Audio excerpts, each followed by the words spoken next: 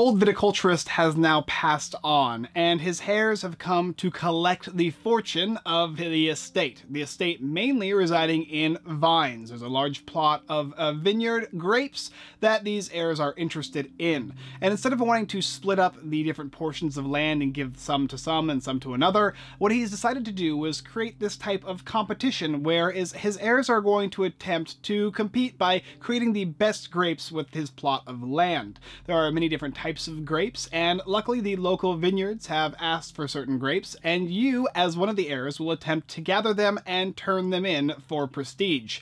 At the end of the growing season, whoever has cultivated the best crop and created the best types of wine will then become the heir apparent, gathering all of the estate and uh, gathering all of the inheritance.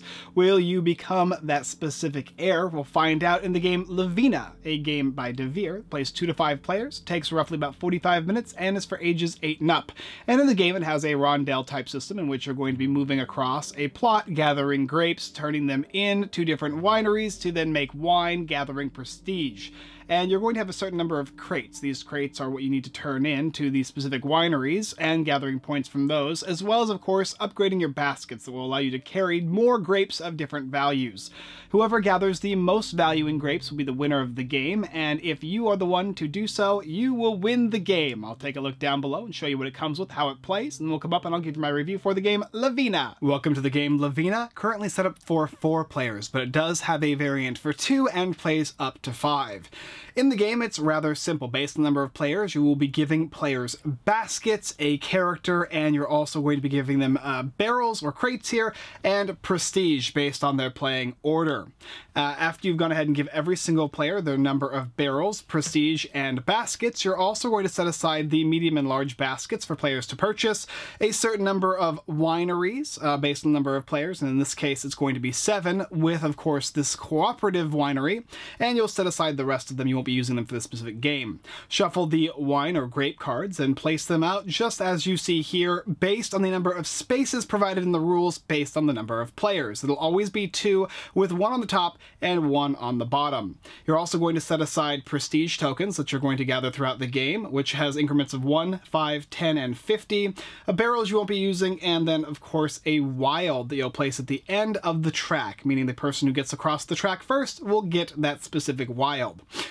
and every player is going to place their characters out on this area here in order, meaning the person in the last position will go first and the person in the first position will go last, but that player will get more prestige to start the game off, balancing it out. To begin the game, uh, I went ahead and just set up one player here to show you what it looks like to have a character ready to go, as well as, of course, the tools that can be utilized and manipulated throughout the game when you need to utilize them. Go ahead and place your character marker onto any of the spaces on the board, and in this case there are five with boxes in each of them, and the farthest box on the back end here is the lowest, is the, is the closest to being able to go first next. So you're always going to want to place your character in either here, here, here, here, here, if you possibly can. So take the character and then place it. And you can place it as far along this track as you would like. Now, the farther along you place it, the less turns you're going to get in the round though. So if he places here, his next action is to take either of the two sets of uh, grape cards. You can take either the top one here or the top one here. You may not touch the bottom one here, but there are rules that will allow you to do so, such as tools. And then gather one card. And when you gather a card, you can place it in either of these baskets here. And at any point on your turn, you can dump any of your basket's contents into another basket, so don't forget to do that. You're also able on your turn after moving from this position to this position on your next turn to gather either from the current space you're on or the next space you go to. So turn one, move, and gather, and place. Note too that your baskets have a certain number of cards they can have in them, and in this case here, this one has three, and this one here has two. After you have moved and gathered, your turn is over, the next player will get a chance to go, and they can once again choose any of these spaces and place on a box. So maybe they'll choose that space there, then gather a card and place it on one of their baskets out of the game, as you can see. Uh, then, of course, the next player will get a chance to go, maybe placing here and taking this one here. And then finally, this player will come over here and take this one here. Then it'll be back to Red's turn. And now Red is the person who's going to go next because he's the farthest along. Had uh, yellow went here and red moved here, the next person would be yellow. But because that's not the case, the next player is going to be blue. You could never move on the same space that you're currently on. So if you're here, you can't simply go to the next box in the same space. You have to actually move to a new space. And because these two are blocked, meaning you can only have one of each of these meeples in each of these boxes, you have to move to a farther adjacent space. So you can choose this space here with this box, or of course this one here, or this one over here. And he'll just go and simply move to this one here. And once again, gather another grape and put it into a basket. And that will continue up until the point in which a player or their meeple reaches the end of the line here. When they get to the end of the line, they're going to gather this wild, if there is one there. They'll put it on their player board, and then they're going to have a couple options. The first one is they can choose to turn in one or two baskets to place barrels down on these wineries. So for instance, if this player here were to have gathered uh, 13 points or more of Chardonnay which is more than any other wines that he has in that basket. As long as he has 13 points, he can put one of his barrels, one of these guys here, onto one of these spaces, thusly gaining the prestige needed. Um, or he could choose to do something where it's just Chardonnay, and he'll gather one times the number of points he has on the cards, points being the numbers presented here, uh, and so on and so forth. Each of these wineries will either require a specific type of wine or it will require multiple different wines is okay as long as there's one that is greater than the rest of them. So for this one, this one here is a good example. Chardonnay has to be more than all the rest of the wines, but you can use all the wines as long as you get 13 points or more when turning into this specific winery. This one over here says you need Pinot Noir, however, it's the only one you can have, and you need 5 points or more, and you'll get 11 prestige when you turn in those wine into the space. And like I said, he can go ahead and do that for up to two of these, provided he has the required grapes from his baskets to place them on here. After that, he can also choose to upgrade his baskets. He'll have to pay the prestige from the basket he's choosing to upgrade to the next basket. So if he wanted to upgrade this small basket to a medium one, this is 5 and this is 8, he'll have to pay a total of 3 prestige in order to switch this one out with this one. When you switch, discard the previous basket and it is removed from the game. You can, however, switch from a small to a large or a medium to a large if you'd like, in any combination as long as you're willing to pay the difference in the baskets. And then everybody else will do the same thing as well. When they reach the end here, they can go ahead and choose to uh, turn their baskets in for these wineries as well as upgrade their baskets. And then these guys are all going to come back in the order in which they were they came out. So if the blue player was the first one to come out, he is the one who's going to start. And then let's say that red went next, and then finally green, and then and then lastly yellow. Uh, blue is going to go next in the next round. You'll take out another one of these wild cards or wild grapes, placing it here. They're then going to go ahead and get the deck of grape cards and place them out to fill in all the spaces that were previously removed from the last round. And then you're going to once again begin the next round of play. You'll also do something that's pretty interesting too. You'll take any of these uh, wineries that have at least one barrel space open and you will place a prestige on them, meaning that whenever somebody turns into one of these locations here, they're going to get that prestige along with the prestige for turning in the, the specific grapes. And it's going to keep going like that until all of the barrels you have are placed out onto these boards here and you have acquired the prestige for placing them out. Once that happens, everyone else will get to finish that round completely, and then you will tally up your points, and whoever has the most is the winner. Another thing to note too is there is a special cooperative winery, which will let you turn in any type of wine at any number, but it's only going to give you times 0.5 for the total amount. So for instance, if this player over here had, I don't know, let's say he had all three of these grapes, they're all three different types, that doesn't matter, two, four, and six, he could turn all three of these in once he reaches the end here. He's going to go ahead and then take one of his barrels and place it on this space here, and he's going to collect three points. So six divided by two is three, so we get three prestige for doing so. That's one unique way that you can turn in your barrels. It's the le least efficient way, but it is one way that you can do so if you need to, uh, because maybe your basket's full of a bunch of uh, grapes that you do not need. And that's it. Uh, there's one other little thing too, I guess, which is this here and uh, these guys here. This is a wine uh, or a grape, I should say, of any type, but it only gives you one point for it, and it doesn't count as part of your card count.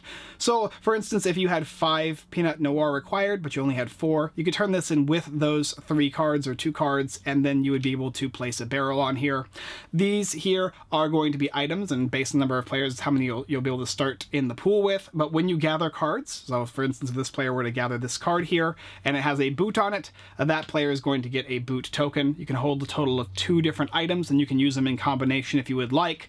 Uh, the cards will either let you gather things from spaces uh, behind them, they'll let you gather more than one card, or let you gather cards that are underneath other cards. And if you have something like, I don't know, boots and shears, you could gather, uh, if you if your character was over here and you used a boot and a shear, boot says you can gather these as opposed to these, and shear says you can gather two. You can in fact take two cards from a space you normally couldn't and place them into one of their bas baskets. So tools are very useful in the game.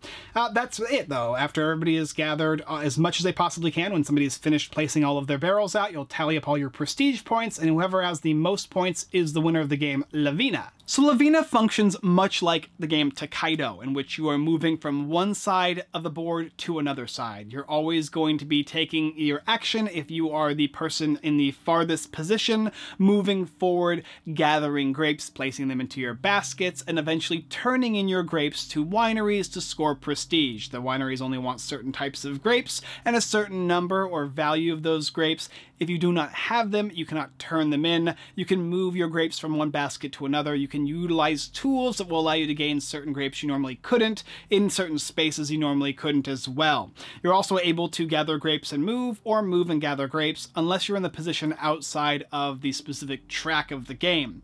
You are basically attempting to specifically gather the cards you need in order to successfully turn them in. However, everyone else wants to do the same thing, and there's only a certain number of wineries out there and a certain number of barrel spaces or prestige areas that you can gather those points in. If you do not gather the grapes you need to, or you gather them too late, there may not be a position for you in order to turn them in, and that's going to cost you because you might actually have to end up dumping out certain types of grapes if you do not meet the requirements by the time you leave the board. Now, of course, wilds are useful. If you get out first, you'll gather that little wild chip, which will give you one of any value. And of course, if you can't turn them in or don't want to, you can simply keep them and store them. You don't have to turn them in. You can turn in just one winery. You can do both of them if you're able to. And that's going to be based on the number of players as to whether or not you can do that, as well as based on how other players chose to play. The more turns you get in the game, the better, but not always, because sometimes you might only need one specific card in a round that might benefit you enough to turning it in and successfully winning you the game. You also only have a certain number of barrels. Once you've turned in all seven, everyone else will finish the round out, and then you're going to tally up your points. Hopefully your points are more than any other players, based on the wineries you chose and the grapes you gave them. If nothing else, you can always turn them into the cooperative. If you goof or if somebody takes your position, you can turn your points into at least get half of the value of your points from the cooperative, but even that is limited. Utilizing spaces, utilizing the amount of turns you get, and your tools is going to master this game. You need to make sure you make the best, most beneficial spaces uh, you could possibly uh, hit every single turn, and if you do not, you are going to suffer because of it. You should also be aware of what types of grapes are in your opponent's baskets, because if you're not aware, you're not going to realize that they're going for the same objective you are, and if they get out first, they'll turn theirs in, and you might have a spot in order to gain prestige needed for you to win the game, setting you back quite a ways.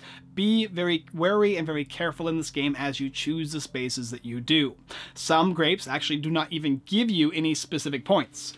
So for instance, this one here doesn't actually have a value or a type of grape, it's just going to be a vine, but it does give you a tool, and those tools are so useful, my favorite being the shears, because they allow you to collect extra unique uh, uh, grapes that you can utilize into your baskets, and that can set you apart. Even just a one or turn, a two turn difference in this game can benefit you greatly.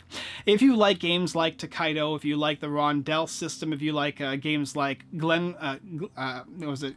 Glendale, uh, and Glendale Chronicles, you're going to also like this game as well. There's also one called uh, Fairy Tale, I believe, that does the same type of movement.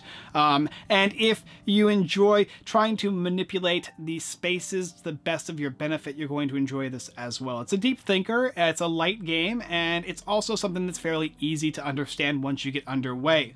There's a lot of stuff going on, but in reality, all you're doing is moving, collecting, and then, of course, when you get across the board, turning in and rinsing and repeat. The round up until somebody gets rid of all the barrels and the game ends.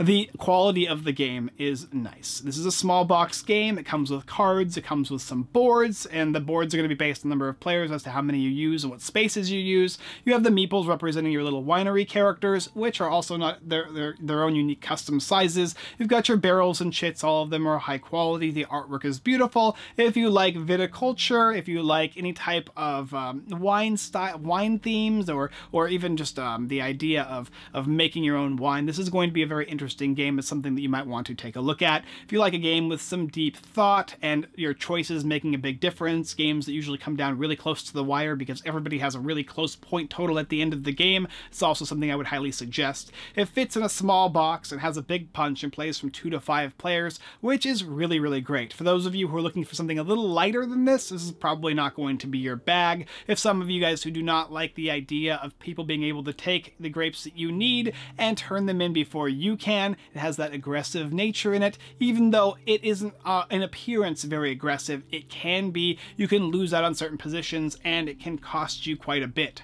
Uh, so those are the things that I would take into consideration. Another thing I would consider is in the two-player variant of the game, it's my least favorite of playing the number of players in this game. I prefer playing this at four, even five players, because in a two-player game, you get those two meeples and you kind of go back and forth. It feels like you're playing a four-player game, but with one player board and with double the meeples. And so you will eventually move one of your meeples out and turn those in, and then your opponent will do the same thing, and then you will do it again. And you're trying to try and manipulate the board to where you get at least two or even 30 turn-ins, and uh, going first makes a big difference. And and I don't know if the value is is is on par um, with going second as far as getting the extra little prestige points. And of course, there is a bit of randomization as far as what cards come out when, what cards you're going to gather. Obviously, a four red is going to be better than a two blue, especially if there's only one blue uh, valued uh, winery in play. That can happen as well. But there is a large uh, variety of styles that the game is going to come with. There's a bunch of different wineries as you play every single game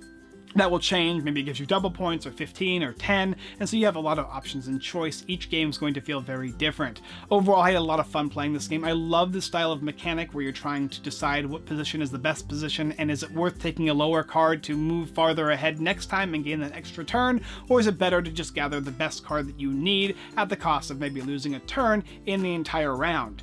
A really, really cool concept. If you haven't played a game like this, this is one I would suggest playing because it's very simple, very straightforward. And if you have have, I would consider taking a look at this, checking out the mechanics, and thinking for yourself if it's something you'd like to pick up. It's going to stay in my collection because this is a game I'm going to bring out whenever I want to show somebody one of these uh, rondel-style systems. Very easy to teach, and then I can get them into something a little, a little more with a little more oomph to it. Overall, though, a solid game, La Vina by Devir. Take a look down below in the description if you're interested in picking up this uh, viticulturist winemaking style game.